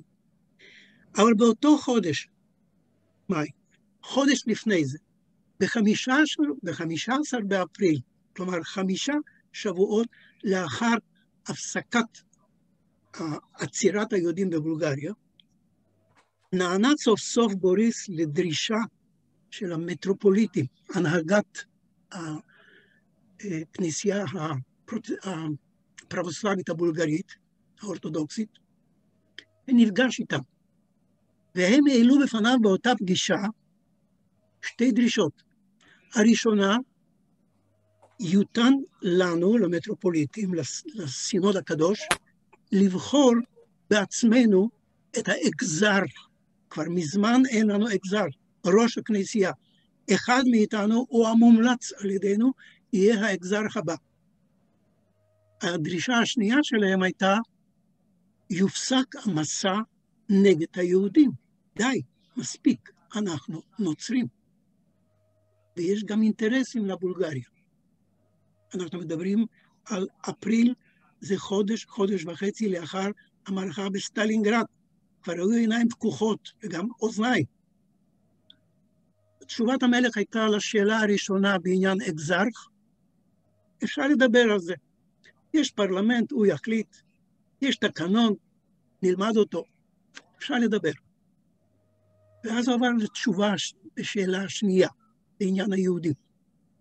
מצאתי, וכולנו כבר יודעים, בארכיון הסינוד הקדוש, את דבריו של בוריס. במשך כמעט חצי שעה הוא נאם את נאומי גובלס בפני הנציגות של הסינוד הקדוש. ארבעה מטרופוליטים ישבו שם, ביניהם קיריל, סטפן, נאופית, ועוד אחד שכרגע שכחתי את שמו. בפניהם הוא נאם, ולהם הוא אמר, היהדות זה רעת העולם. הם גרמו לכל הצרות שבעולם. הם גרמו גם למלחמת העולם השנייה. פתרונם של כל היהודים לפי מדיניותה של גרמניה, כך גם לגבי היהודים שלנו. זו הייתה תשובתו במשך כחצי שעה, על פי הרשום, על ידי הסטנוגרפיסט של הארכיון של הסינוד הקדוש. ובכן, במצב הזה, התשובה לשאלה היא, לשלטון בבולגריה, שרצה ותכנן וכמעט ביצע את השילוח, אין חלק בהצלה. יש חלק רציני, ברור, להצלה, למשלחת מקיוסטנדיל, בולגרים, ליהודי קיוסטנדיל, לכמה יהודים בסופיה, שאנגל לא הזכיר אותם, אבל הם פעלו בדרכים שונות להפעיל אנשים כנגד המזימה של הגירוש. יש תפקיד מכריע לכנסייה, תפקיד מכריע לאליטה אינטלקטואלית שאין לי זמן כרגע לפרוס, מי ישתדל ממש ברגעים הקריטיים של הבין השמונה לתשעה במרץ 1943, להם יש חלק, גם שכחתי אחרים, אבל סליחה, דמיטר פשף, איך לא? דמיטר פשף וחברי הפרלמנט שהתגייסו לידו וסיכנו את הכל, הם היו כולם אנשי הרוב. אף אחד מן החמשת אנשי האופוזיציה בתוך הפרלמנט לא חתם על המכתב של פשף כדי לא לקלקל, ככה הם אמרו לו. כל מי שחתם, 43 איש יחד עם פשף, כולם היו אנשי הרוב. פשף, בהוראתו של בוריס, סולק מבוריס, יש לנו ביומן של פילוף, כותב, בוריס אמר לי, הגיע הזמן לגמור עם הצהרה הזאת, כלומר, סלק אותו. הוא אומנם סולק בספסלים האחוריים של הפרלמנט מעמדתו כסגן יושב. אם כן, לשלטון אין חלק בהצלה. היד עם הגרזן יכלה ליפול, אבל היא נעצרה על ידי כוחות אחרים. לא היד ולא הגרזן אשמים, במרכאות, בהצלה, אלא מי שעצר, מי שעצר את היד הזאת. ככה באופן ציורי אפשר לומר שזה מה שבעצם אה, סילק את הסכנה. הסכנה, כפי שאנגל ציין, נמשכה, אבל בסופו של דבר בגלל נסיבות שונות, בין היתר גם הניצחונות של הצבא האדום, וגם התפתחויות ומאבקה של המפלגה הקומוניסטית המקומית בעזרת אמ, צבא הפרטיזנים, שהלך וגדל בסופה של 1943, אה, מסיבות שונות, זה הועם ועברה הסכנה. עד כאן. תודה. תודה רבה לדוקטור שלמה שאלתיאל. אה, אני מזמין את דוקטור משה מוסק אה, להתייחס להרצאה ולדברים. משה, בבקשה. ערב טוב. אני בהחלט רוצה לברך את אנגל. אני קודם כל מתנצל על הקול שלי. אני חושב שיותר מדי הרמתי אותו בהופעה האחרונה שלי בקיסריה, וזה כבר לא מה שהיה לפני זה. אני אשתדל בכל זאת אה, לדבר בצורה שתוכלו להבין את מה שאני רוצה להגיד. אז אני חוזר באמת אה, ומודה לאנגל על ההרצאה הממצה שלו, באמת הצליח להכניס בתוך 45 אה, דקות את ההיסטוריה הבסיסית של מצב היהודים בתקופת השואה, ואני מודה לשלמה על התובנות שהוא בעצם חילק איתנו כאן. אה, אני חשבתי לדבר באמת על הנושא ששלמה התייחס אליו בחלק האחרון של הדברים שלו, והוא השאלה הנשאלת והבלתי חדלה מי הציל את יהודי בולגריה, ואיזה משקל יש לתת לכל אחד מהגורמים שהביאו להצלה. כללית אני מציע ולא לקרוא לזה הצלה אלא הישרדות, אני חושב שזה לא ש... יהודי בולגריה ניצלו, אלא הם שרדו. באחד הכנסים שהייתי בבולגריה, באוניברסיטת סופיה, קם מישהו מהקהל, לא מהדוברים האקדמאים, ושאל, אני יושב פה ושומע כמה שעות את הנושא של הצלה, הצלה, הצלה. ממי היהודים ניצלו? מהבולגרים? הבולגרים רצו לגרש אותם להשמדה והבולגרים הצילו אותם? אין פה דבר כזה של הצלה. ולכן אה, אני בהחלט מסכים עם חבר הפרלמנט הזה שהיה בקהל ואמר את מה שאמר, ואני באמת חושב שהמילה הישרדות יותר מתאימה לנושא הזה. אבל זה יותר עניין סמנטי ממה שמהותי. אה, אני באמת רציתי לדבר על הגורמים, ואז אה, לפני שבוע, כשדפדפתי בניירות שלי, מצאתי תזכיר של יהודי בשם ויטלי חיימוב, חיים חיימוב. מי היה האיש הזה? אני לא יודע אם כולכם יודעים. הוא היה יושב ראש ההסתדרות הציונית בבולגריה במשך שלוש שנים, מ-1945 עד 1949, כשהוא עלה עם האונייה בונים וחופשיים והיה גם בקפריסין והגיע לארץ באפריל 1948. ויטלוף, ויטלי חיימוב היה האיש שנסע לאיסטנבול בסוף נובמבר 1944 וליווה את בן גוריון למסע שלו בבולגריה שהתחיל ב-1 בדצמבר אותה שנה. ויטלי חיימוב כתב תזכיר בנושא הזה של הצלת יהודי בולגריה. אני לא זכרתי את זה ומצאתי אותו, מצאתי את זה בארכיון של בובי ארדיטי, של בנימין ארדיטי שנמצא ביד ושם. וחשבתי שאולי מוטב ממה שאני אגיד, ואני כבר הרציתי מספיק את התזה שלי מי הציל ומי לא הציל, שאני אצטט את המנהיג הציוני הדגול, ויטלי חיימוב, שכתב את התזכיר הזה כמעט עשרים שנה אחרי האירועים בבולגריה, בשנת 1961, כדברי ביקורת לספר של נתן גרינברג אה, שיצא בבולגרית בארץ ב-1961 בשם הלחץ ההיטלראי להשמדת יהודי בולגריה. נתן גרינברג היה קומוניסט, אה, פרטיזן ופעיל אה, קומוניסט ונשאר עוד בבולגריה, לא עלה עם כל הגל העלייה הגדול והוא כתב ספר חשוב מאוד, הוא בעצם ערך שנקרא דוקומנטי, שזה תעודות, וזה בעצם קובץ של תעודות שמפרט צעד אחרי צעד איך בולגריה אה, עם כל המשרדים, הקומיסרסטו, הממשלה וכל הגופים האחרים עסקו בתכנון ובביצוע השמדת יהודי טרקיה ומקדוניה. מסמך מדהים שיצא לאור בבולגריה בינואר 1945, תארו לכם שלושה חודשים אחרי שבולגריה שוחררה, הוא ישב בארכיון של הקומיסרסטבו, אסף את התעודות, ותוך שלושה חודשים הוציא את הקובץ המתאים הזה דוקומנטי. אני פגשתי אותו בארץ הרבה שנים אחרי זה, אבל הוא לא היה מוכן לפתוח לי את הדלת, הוא מאוד פחד שמשהו יונה לו. הוא פתח לי חריץ קטן, דיברתי איתו במשך שתי דקות, ניסיתי להיכנס אליו, לראיין אותו, הוא לא הסכים, הוא היה באיזושהי חרדה וטרק בפניי את הדלת, כך שזה המפגש הקצר שלי עם אה, גרינברג. אבל מה שענייננו כאן זה ויטלי חיימוב. וויטלי חיימוב אה, מונה שבעה גורמים שבעצם אה, רואים את עצמם או שאחרים רואים אותם כאלה שהצילו את יהודי בולגריה או שגרמו להישרדות יהודי בולגריה.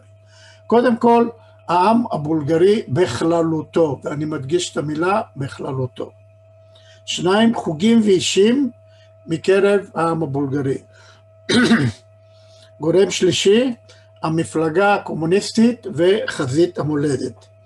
גורם רביעי, התנועה הפרטיזנית הבולגרית. גורם חמישי, המלך בוריס וממשלתו.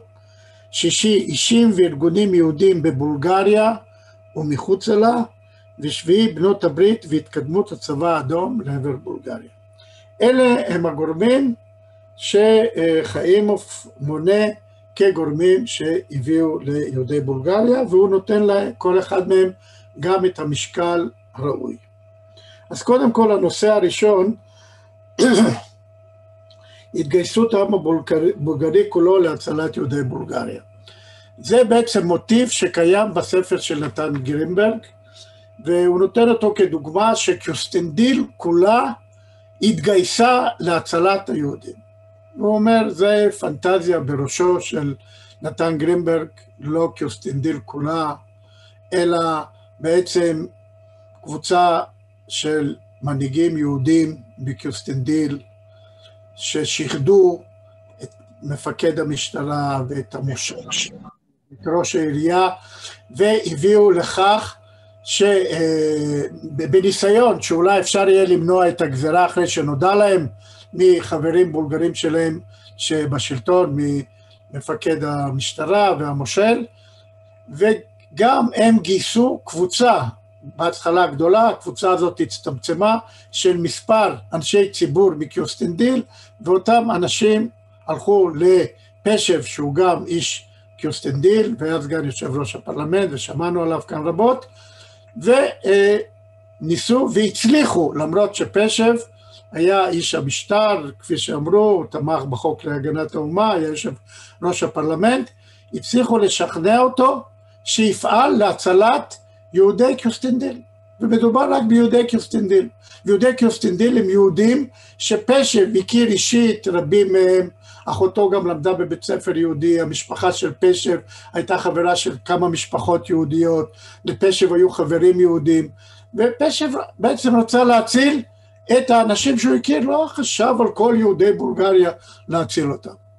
אז הסיפור הזה של המיתוס שיוסטנדיל כולה עמדה להציל את היהודים, כמו שגם המיתוס שיהודי, שהבולגריה, העם הבולגרי הציל את היהודים, ויטלי חיימוב לא מקבל אותו, ואני מסכים לגישה של ויטלי חיימוב.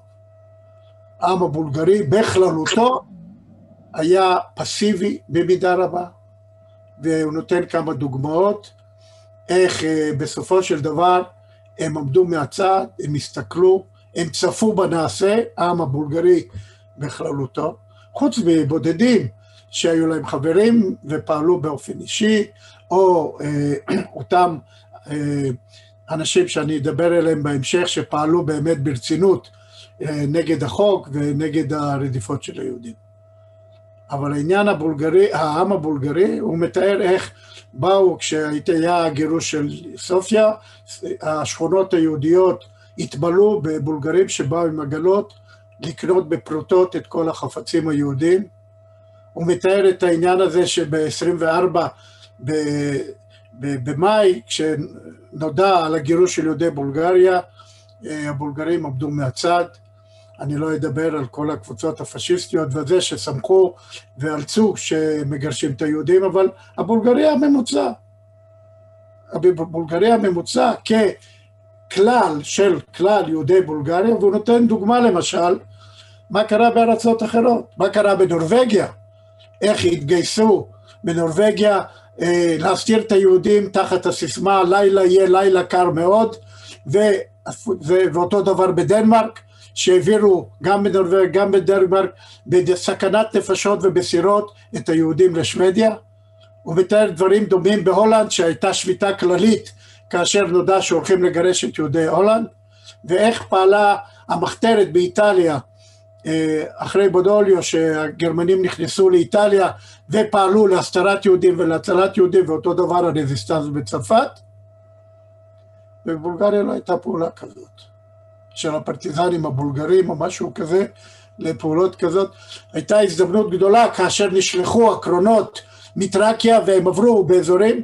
למה הפרטיזנים לא ירדו מהערים וניסו לפוצץ את מסילות הברזל ולהביא לזה שהיהודים יברחו מהקרונות וזה בסך הכל הם לא היו בלי שום משמר הרכבות האלה. קבוצה קטנה של פרטיזנים הייתה יכולה לחבל במסילה, לחסל את המספר שוטרים וחיילים ששמרו על האנשים האלה ולהבריח את האנשים האלה ליערות, לקהילות היהודיות, אני לא יודע לאן. זה לא היה קיים בבולגריה. כך שהמיתוס הגדול הזה, ויטלי חיימוב מנפץ אותו, ואני חותם על הגישה הזאת שלו. הנושא השני זה חוגים ואישים מקרב העם הבולגרי.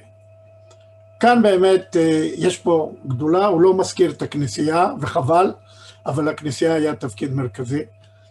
אבל אותם חוגים ואישים, כמו ארגון הסופרים הבולגרים, עורכי הדין הבולגרים, אה, וארגונים אחרים, ארגוני פועלים, שיצאו במחאות נגד חקיקת החוק להגנת האומה, אנחנו לא מוצאים את זה בארצות אחרות, אנחנו מוצאים את זה בבולגריה. וכאן באמת יש סיבה שאני לא אכנס אליה, שזה בעצם התזה המרכזית שלי להצלת יהודי בולגריה, שזאת בעצם תזה סוציולוגית, בעצם של ההתחברות, הפטריוטיות, ההתחברות של יהודי בולגריה עם הבולגרים, הפטריוטיות, הנאמנות של יהודי בולגריה, הערכה שהבולגרים נתנו ליהודים, ובעצם בצורה כזאת גם אה, הארגונים האלה פעלו, אבל שוב, בעניין הזה יש קאץ'. הם לא פעלו סתם מיוזמתם.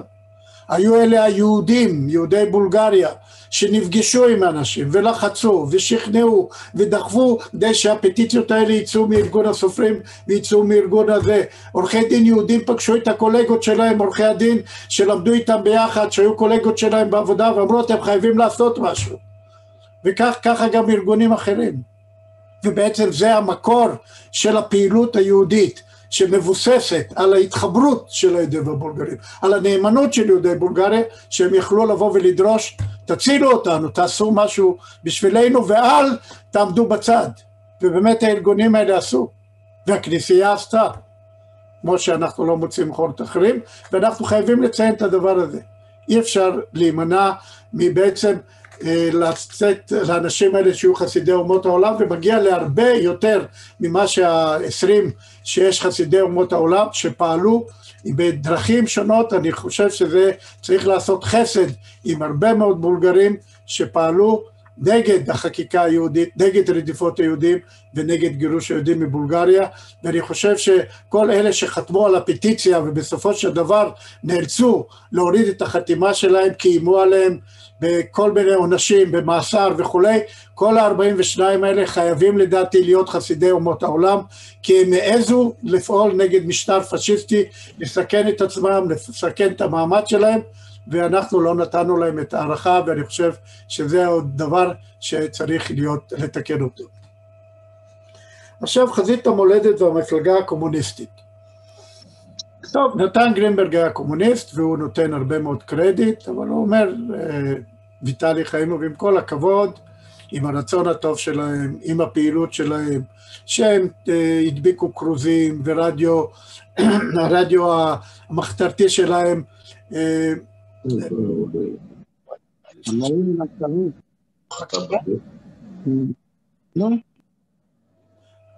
עוד מעט, ג'קי, אני אתן לך. אה, הרדיו הבולגרי וכל שופרות התעמולה של הקומוניסטים וזה יצאו נגד רדיפת היהודים, אבל הם עצמם היו נרדפים, והאמת שגם יכלו לעשות יותר, והם לא עשו, ואי אפשר לתת להם קרדיט, כי אין למעשה שום אה, פעולה מעשית של הארגונים האלה, חוץ מהרצון הטוב שלהם, והאהדה שלהם ליהודים, והניסיון שלהם לבטל את הגזרות נגד היהודים, אבל הם היו בעצם חסרי יכולת, הם בעצמם היו נרדפים ודאגו שהם לא ייפגעו, כך שאנחנו לא רואים פעולות שלהם. המלך בוריס וממשלתו. לזכותו של המלך בוריס, שלא באשמתו במרכאות, הוא שהוא בעצם כרת ברית עם גרמניה. ובכריתת הברית הזאת בגרמניה זה אחד הגורמים הגדולים ביותר להישרדות יהודי בולגריה. שלא כמו במדינות אחרות, כמו בהולנד ובבלגיה ובצרפת ובשכנות של בולגריה, יוון ויוגוסלביה, נכנס הצבא הגרמני ככובש, ואחד מהמשימות הראשונות שלו היה אה, לעצור את היהודים, לאסור אותם, לרכז אותם ולשלוח אותם בסופו של דבר להשמדה. יהודי בולגריה הם אזרחים בולגרים.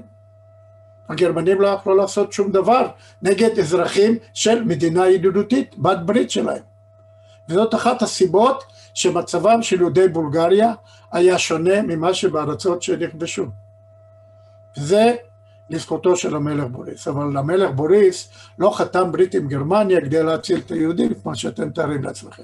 אבל בגלל הנסיבות האלה, בהחלט המצב של היהודים היה שונה ממה שבארצות שנכבשו.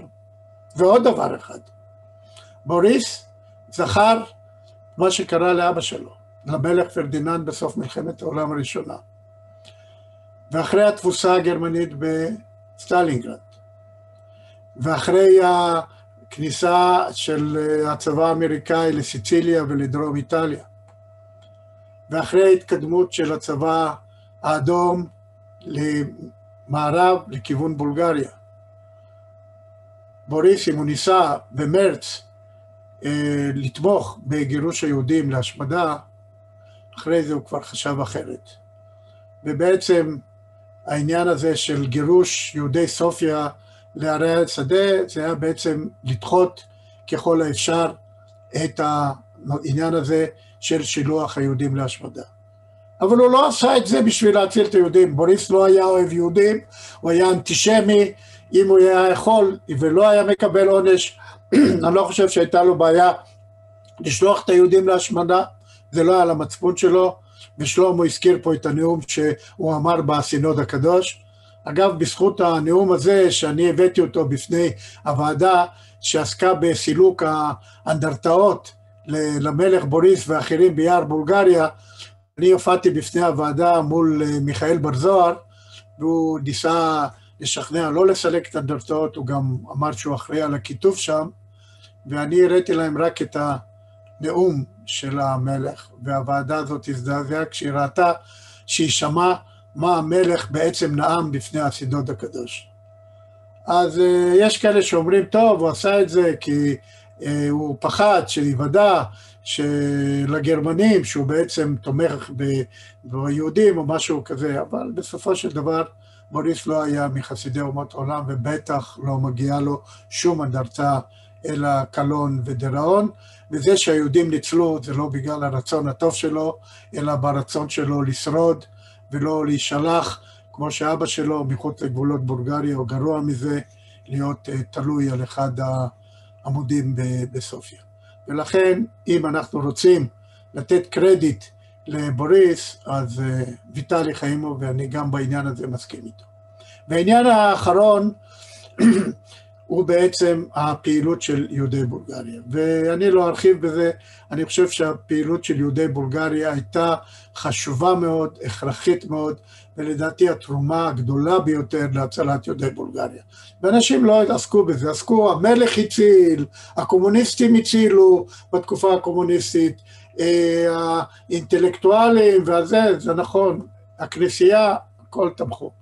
אבל אם היהודי בולגריה לא היו נערכים בקבוצות וכבודדים להיפגש עם שרים, עם חברי פרלמנט, עם עיתונאים, עם אנשי דעת הקהל, עם אנשי צבא, עם כולם, עם כל אחד שהיה לו קשר ולא היה לו קשר קודם, וללחוץ עליהם לפעול נגד המדיניות האנטישמית, אני חושב שגם הפעולה של פשב לא הייתה מצליחה וכל הדברים האחרים. ולכן יש בהחלט לתת קרדיט ולהיות גאים באותם יהודים אמיצים, כי זה היו צריכים גם אומץ לב לפעול בצורה כזאת שבעצם מנעו. אבל יש לי פה פיתול.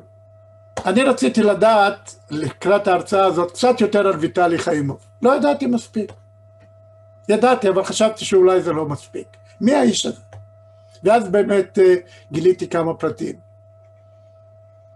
פתחתי את הספר של קשאלס על הכרך הרביעי שלו, ואני כבר מסיים, על תקופת השואה, ומצאתי מילה במילה אצל קשאלס מה שחיימוב כתב.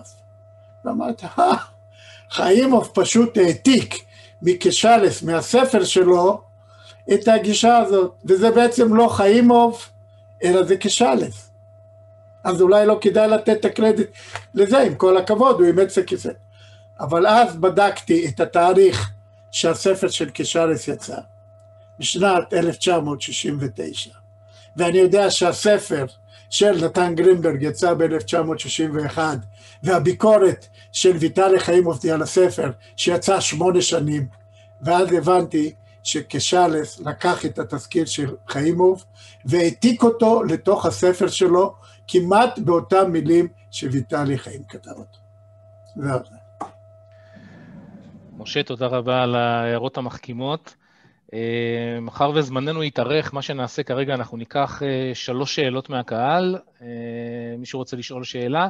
את שאר השאלות, כשנעלה את ההרצאה המצולמת שלנו לאתר הפייסבוק שלנו, תוכלו לרשום שם שאלות. אנחנו מתחייבים שכל אחד מההיסטוריונים כאן יענה באריכות על כל, כל אחת ואחת מהשאלות. אז אם יש כרגע מישהו שרוצה לשאול, יש לנו שלוש שאלות, אני אשמח שתשאלו, בבקשה. כן, מוטי, אני רוצה לשאול שאלה.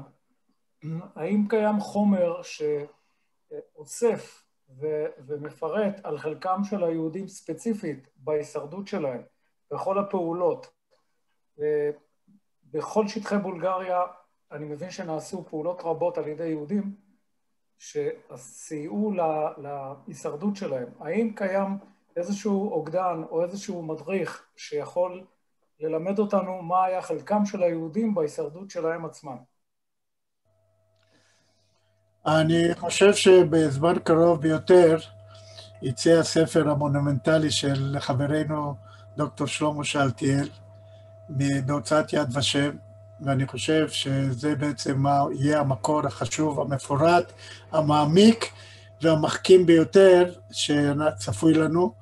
כמובן שקיימים הרבה ספרים, הספרים שנכתבו עכשיו, חלקם לא נכתב על היסטוריונים, אלא על ידי עסקנים. בנימין נרדיטי היה עסקן של חירות, קישלס היה עסקן של פועלי ציון בבולגריה. אה, הספר הגדול שאיחוד עולי בולגריה הוציאו, האלמנח הזה של זה גם כן נכתב על ידי אה, אלברט רומנו ואחרים. אה, יש דברים כתובים ויש בארכיונים. ואני חושב שהספר של שלמה ייתן תשובות להרבה מאוד שאלות שאנחנו מתלבטים איתן. אני לא בטוח שכולם יסכימו איתם, אבל uh, כמובן שזה מאוד יפרה את הידע, את העניין ואת הסקרנות uh, בנושא הזה, וייתן גם את התשובות המחכימות. שלמה, בבקשה. מוטי, שניים, שלושה משפטים. קודם כל אני מקבל את ההדגשה של uh, ידידי משה מוסק בעניין תפקידה ותרומתה העצומה של ההנהגה היהודית על כל רובדיה בפעילות אצל חברים וידידים בעלי השפעה. אה, לגבי השאלה, אה, בספרים שיצאו עד עתה אפשר למצוא חלק מן החלק גדול, לפחות תמצית, של התזכירים שהקונסיסטוריה היהודית ניסחה ושלחה לשרים, לחברי פרלמנט ולציבוריות. אפשר למצוא גם כמה דברים אחרים. כל אלה הם דברים ידועים. קשה מאוד יהיה היום לשחזר מה עשו בודדים, נניח מול ארגון הציירים, מול ארגון הסופרים, ארגון עורכי הדין, מול ארגון הרופאים. כל אלה, אין ספק, משה צודק, הם הופעלו בין היתר, לא רק מכוח עצמם, גם, אבל גם על ידי חבריהם היהודים שהיו מאוד מאוד פעילים. יהיה קשה מאוד לגלות היום מי בדיוק פנה אל מי. תודה, שלמה. אה, יש מישהו נוסף שרוצה להתייחס? כן, אנגל? ממש יותר ספציפית לשאלה של ג'קי. לצערנו אין איזשהו אוגדן ממש לפי נושאים, כלומר החומר, יש חומר פה ושם, הוא מפוזר בארכיונים, יש עדויות כמובן על מה שאתה שאלת, בעיקר יש לנו עדויות ולא כל כך מסמכים חתומים, אבל לצערנו אין איזשהו איגוד לפי נושאים, כלומר אם אתה מחפש לפי התרומה של יהדות בולגריה להצלת הקהילה עצמה, אין קולקציה כזאת לפי הנושא הזה. צריך לחפש, יש בארכיונים בבולגריה, יש בארכיונים בארץ, יש עדויות בכל מיני קולקציות כמובן של עדויות, וצריך לחפש לפי נושא. תודה. שאלה נוספת מהקהל אם יש?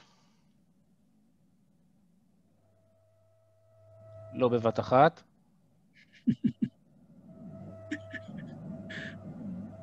אוקיי. בסדר, אז כך. אנחנו מתקרבים לסיום הערב הזה, ולפני הסיום אני אומר לכם מספר מילים. כמו שאמרתי, אנחנו לקראת סיום הרצאתנו השנייה בסדרה שעסקה בתקופת השואה. בציבור הישראלי השתרש איזשהו הלך רוח כאילו תקופה זו עברה על יהודי בולגריה כפיקניק של אחרי צהריים, ובהרצאה הזאת הראינו שהדברים היו הרבה יותר מורכבים. אני אגזול עוד דקה מזמנכם ואקריא לכם קטע קצר מיומנו של אבי המנוח, שמו היה משה אסייס, שגורש מבולגריה במסגרת מסע לגירוש נתינים זרים שקרה בספטמבר 39, עוד לפני הממשלה הפשיסטית. השוטרים הבולגרים גירשו 4,022 יהודים נתינים זרים מבולגריה.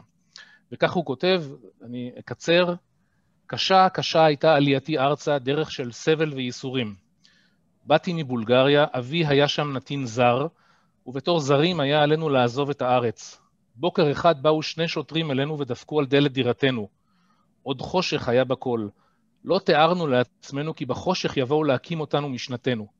בקושי רב נתנו לנו רשות להתלבש. לא הורשה לנו לקחת שום דבר. את הבית עזבנו כמו שהוא. יצאנו כשאיננו דומעות. בפעם האחרונה שמענו את כל, כל נקישת הדלת של ביתנו. כל נקישה זה היה מיוחד, שונה מאשר תמיד. שעות עברו, ערפל היה פרוס על הסביבה כולה. הכל היה שחור לפנינו. הלכנו ללא דרך וללא מטרה. השוטרים ציוו עלינו לעלות על עגלת חיילים, לתחנת הרכבת הובילו אותנו. הפרוזדור של תחנת הרכבת היה מלא אנשים, הוחלט לזרוק אותנו אל מעבר לגבול. גברים ונשים, זקנים וטף, כולם ידעו כי יהיו מושלכים לעבר הגבול הטורקי אי שם. מי יודע, היהו אי שם, ומה שם, האם בכלל נישאר עוד בחיים. אחרי זמן מה עלינו לרכבת, כל צעד מצעדינו מלווה היה בשוטר שפיו מלא קללות. אחרי נסיעה כזו של שמונה שעות הגענו לגבול הטורקי, ירדנו לעיירה קטנה, משם השליכו אותנו לפני הגבול, לקחו מאיתנו את כל בגדינו הטובים ביותר ואת מעט הכסף שהספקנו לקחת איתנו לדרך. חודשים טעינו בשטח ארץ ההפקר בין הגבול הבולגרי ובין הגבול הטורקי, ומזמן לזמן יכולנו להשיג מעט לחם בכפרים. בלילות תרים היינו, ברצוננו היה להתחמק דרך אחד הגבולות, אך עמלנו היה לשווא.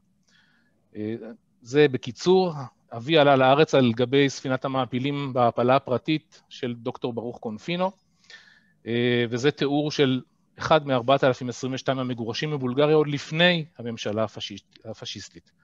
תם ולא נשלם, הרצאתנו הבאה תהיה ב-16 ביוני בשבע וחצי בערב, ובמהלכה ירצה דוקטור שלמה שאלתיאל על ההעפלה והעלייה הבלתי לגלית אחרי השואה.